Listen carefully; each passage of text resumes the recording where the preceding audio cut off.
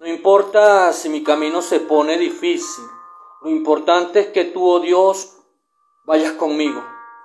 Dios va contigo, claro que sí, no lo olvides. Si el camino se pone rocoso, piedroso, o hay tempestades en ese camino, recuerda, no vas solo, no vas solo. Dios está allí guiando cada uno de tus pasos, guiando cada uno de tus pasos.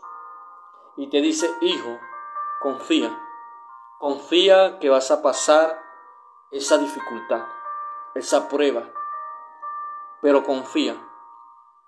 No permitas que en un momento de tu lado yo, por culpa de la, falta de fe, me vaya.